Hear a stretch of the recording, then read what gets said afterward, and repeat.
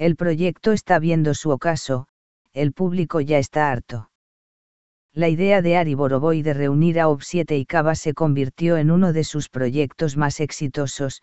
pero también en uno de los más tormentosos desde su gestación. Nos enteramos de que en el más reciente concierto que realizaron en el Auditorio Nacional se armó tremendo escándalo entre los intérpretes de la calle de las Sirenas y la producción, comandada por Ari de OB7.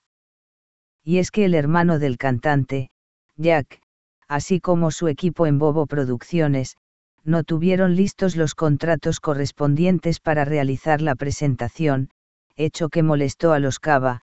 quienes por si fuera poco, amenazaron con no salir al escenario,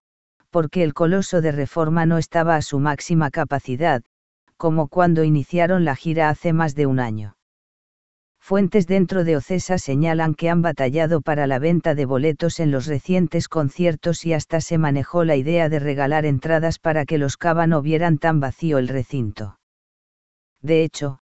para su fecha número 23 en el auditorio, el próximo 14 de octubre, no se han vendido ni la mitad de entradas, pese a que faltan tres semanas.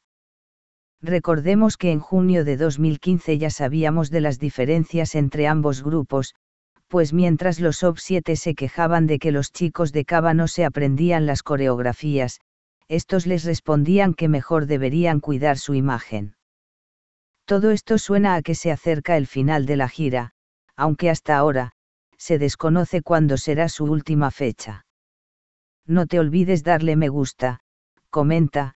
comparte, suscríbete para participar del sorteo y ganar premios, sígueme en mis redes sociales si deseas que te mandemos un saludo en las siguientes noticias comparte los vídeos y los cinco primeros saldrán en el próximo vídeo y únete al grupo de WhatsApp Una Zona a tu estilo.